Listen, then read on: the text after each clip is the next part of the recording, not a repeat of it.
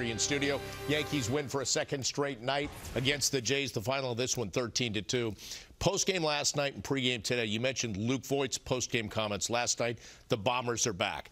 It's a great quote. It's great to say. You got to back it up, and the Yankees did it again tonight. They absolutely have, Bob. Six more home runs tonight. So six home runs in each of the first two games of this series. First time in franchise history they've ever done that. I called last night an annihilation. Tonight, I'll call this a decimation. And how about Kyle Higashioka, 30-year-old backup catcher, played more than 600 minor league games. That's a lot of bus rides waiting for a night like this. Three homer game. He also hit another ball to the warning track. Oh, and by the way, he caught Gerrit Cole. And on this night of offense, Bob, I'm still going to tilt back towards the pitching and say Gerrit Cole looks like a guy who is ready for the postseason. He's been menacing in his last two starts. His fastball was especially effective tonight.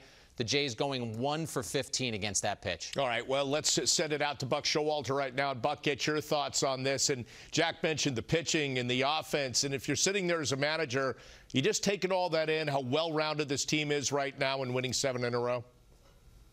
Yeah, they got it all clicking. That goes without saying, and it's it's fun to watch. What way I the word that hit me tonight was methodical.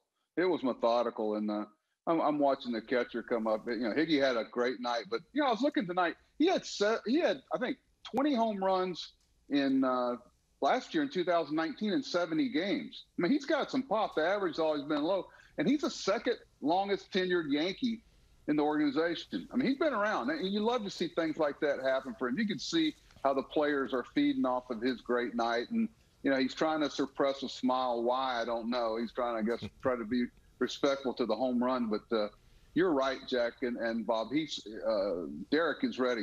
It, it, Gerrit's ready for the postseason. I mean, you can see that look on his face. He's competitive. He's he's the right kind of snarly, and it's fun to watch. Yeah, you know what? Let's